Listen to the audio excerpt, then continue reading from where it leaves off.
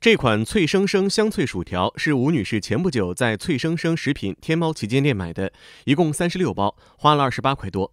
她上周打开其中一包，发现不对劲。我在吃着吃着薯条，因为我吃东西比较仔细的，然后看到它是发绿的，然后我知道发绿的土豆是不太能吃的，然后我就去问那个，就是我是旗舰店买的，我就去问客服。这根薯条的一端看起来确实是绿色的。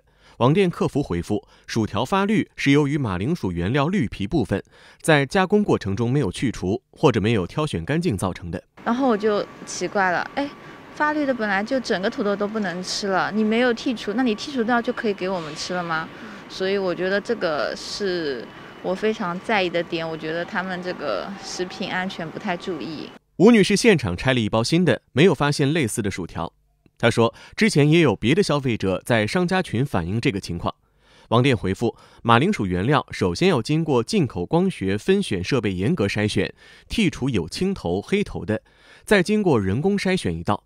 但任何严格的工序都存在容错率。”吴女士说：“商家已经给她退了款，但她并不在意几十块钱的退款，而是希望提醒大家，她那个销量是很大的。第一方面的话，我是觉得因为。”在我的圈子里面吃这个的东西的人非常多，然后他们还主就是广告页上就写着孕妇和小孩都能吃，然后我自己是觉得，就发绿的土豆的话，最好大人也不要吃了，你还就是专门写的是给孕妇和小孩的零食。它发青了之后，它其实是当中它出现了那个龙葵碱，就我们也叫龙葵素，又叫马铃薯碱，那这个它是有比较强的一个毒性在里面的。生物碱的含量一一高之后，它就出现一些嗯中毒的一些症状，轻的话可能会拉肚子，那严重的就可能出现一个呃就是像瞳孔放大啊、休克啊、死亡啊这种症状都会有的。这个植物它是一个整体。我们看到变色的部分的话，就是说明它这个生物碱的含量已经是比较高的了。贴了留下来的那部分当中的话，这个可能是要经过一些检测的方式，呃，再去了。但是作为我们日常的一个饮食的安全上面来说的话，我们最好肯定是不要用这一类的原料来做。进入网店首页就能看到“原薯鲜切，小孩和孕妇都能放心吃的健康薯条”等字样。薯条厂家是天津海皇食品。